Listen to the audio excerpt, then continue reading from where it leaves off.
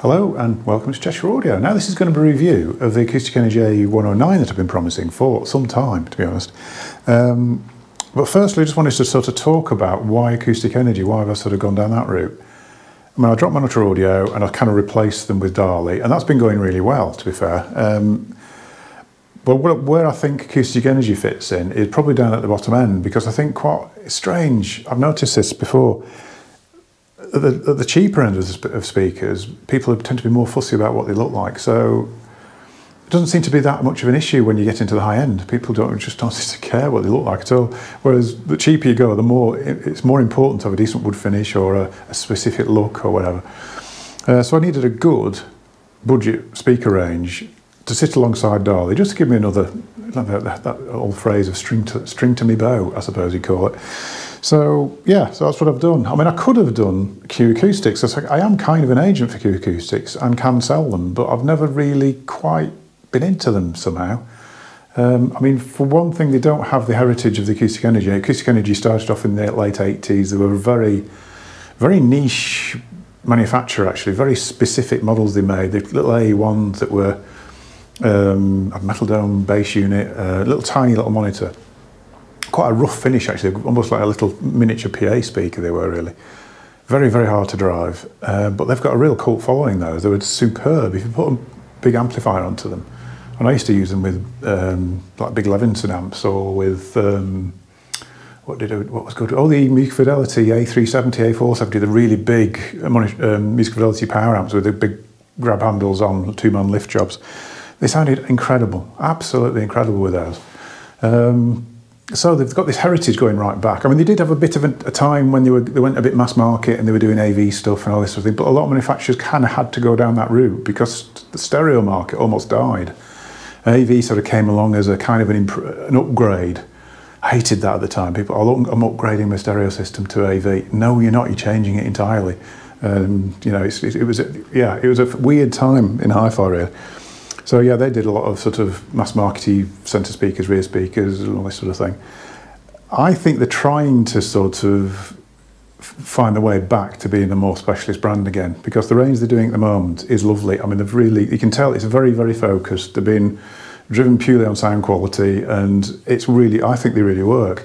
With the Q Acoustics, they are very good. Um, but their background is, is very different. They they haven't got a heritage particularly at all. They were commissioned by a distribution company. It's a really odd story, actually. There was a distribution company in the UK that distributes loads of different brands. I think Goldring, Grado, QED, loads of loads of brands, and they didn't have a speaker, so they commissioned somebody to create a range for them, and that became Q Acoustics. It, it was, it was a really strange. I, I didn't expect them to do anything at all, but they've actually become they've actually become quite popular. I think probably probably because of pricing, I suppose, but Anyway, acoustic energies, and I'll have a look at them in a second. I think they actually look very similar to the Q acoustics. Actually, there is, they may even come out of the the cabinetry might even be done in the same Chinese factory. Could be. It's a big statement that, but they look very similar. So anyway, I'll stop it here, and then we'll have a have a good look around and um, talk about what they sound like because they are very good. Right, so A109.2s. Um, I've actually called them Mark II on the website because the little the little two that they use in the uh, advertising brochure is basically 109 squared, little number two at the top there. Can't can't reproduce it on the website. I've tried, so it's they're Mark II on the website. Um, yeah, like I said, they do look a bit like a Q acoustic sort of uh, cabinet with the rounded edges and everything. I mean, that's probably the, where all the similarities end, to be honest.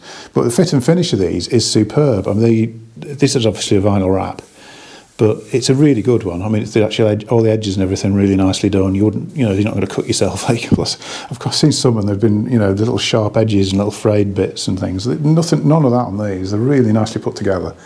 Um, they do the walnut, they do black.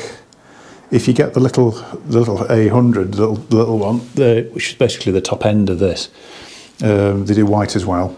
I think probably white will be a bit, little bit too much on these, if I'm honest, really. So I can see why they don't do white.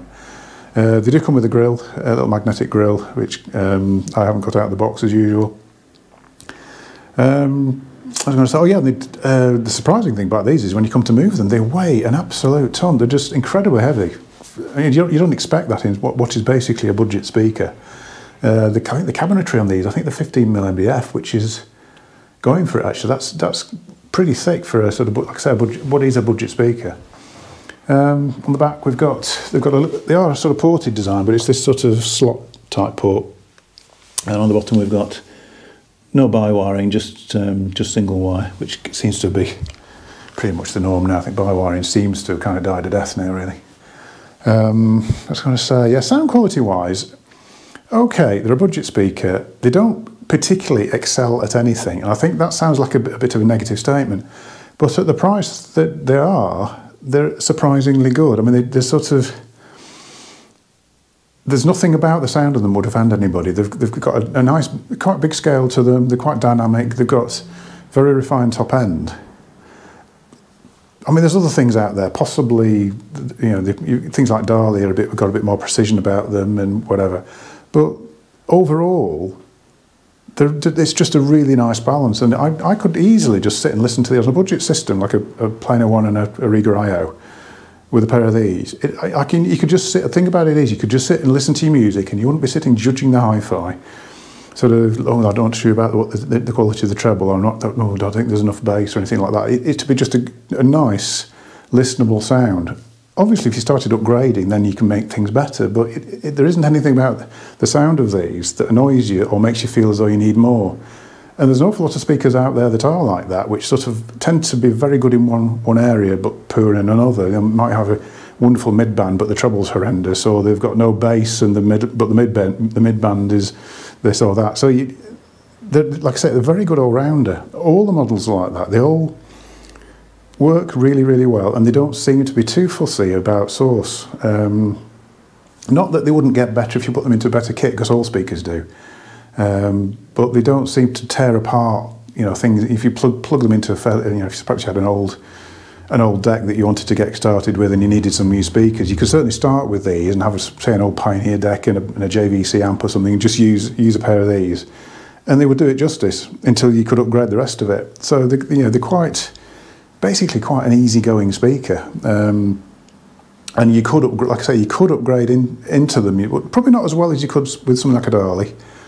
Um, I think the Dalis will probably take bigger steps as you upgraded the rest of the kit, but they would do it because the driver, the drivers in these are actually, and particularly the bass driver, um, does seem to be particularly good. So you've got the, the, potential to, to really upgrade around them. I think these are probably my favourite in the range, which is unexpected because I tend to like the stand mount versions of things. I don't tend to be that into floor standing versions. But um, yeah, overall, I really like them. Um, and I'm glad I've taken glad I've taken them on because I mean these are six hundred pounds. I haven't got anything else in the shop to six hundred pounds. I think the nearest to this I've got is um, Oberon fives at eight hundred. They are now. Um, so yeah, okay, another two hundred pounds, but and they are a better speaker. But really, if you're really tight on budget, you can't go wrong with these. I think they've been yeah, I've been really impressed with them. Really impressed. Obviously, they come with a grill. Uh, I always forget to get the grills out of the box when I'm doing reviews because I, I, tend to never have them out in the shop really because they just get lost. Uh, spikes on the bottom, usual sort of thing. The only thing I don't like about these, and it's not as obvious on these, I'll show you on the hundreds. Um, the only thing I don't like about them, and it, this is probably just me being a bit fussy, is that's a sticker. Uh, and this one, these actually belong to Acoustic Energy, it's not actually it's actually coming off. But it's a small thing, really, small thing. So there you go. That's the A109 Mark II really pleased with them. And I think I should, to be honest, think I'll do should do pretty well with them. To be fair, I think I'm probably going to try and bundle, do a bit of system bundling on the website a little bit, and put a pair of these in with the whatever. I don't know what yet. Think of something, but yeah.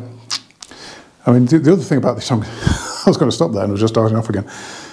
The other thing about these is, I mean, they, it's there's not like I said, there's no there's no floor standards at this sort of price. Um, and a lot of people don't want speaker stands in the room. So it, has been it has been a bit of an issue with people. So oh, I just need I just want a little a little uh, sort of stand mount speaker, but they don't like the look of any of the stands that are available. Uh, and then also the prices of stands have gone through the roof as well. So there's not been a really good budget floor standard. Uh, yeah, floor standard around at all. There's been nothing, no options at all until you get to the eight or nine hundred pound price point. So, yeah, I think um, I think they are the ones.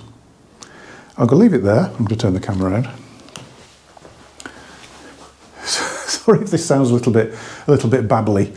Um, I'm off, I've, I've, this is my second, third attempt at doing this video. I've sort of got halfway through a couple of times, and it's just been busy in the shop, so I've just kept getting interruptions, and I'm kind of waiting. There is a, a delivery due actually. Um, which could have turned up at any minute. So I've been almost sort of watching the window just to see if he's coming in. So if I if it seems a bit rushed and I've been repeating myself, sorry about that. Just um, under under loads of stress. You don't know you don't understand how stressful it is doing this.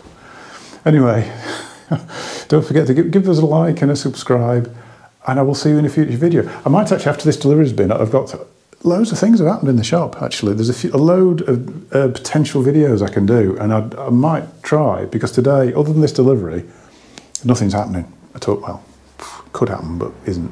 Um, so I might try and do a couple more videos today.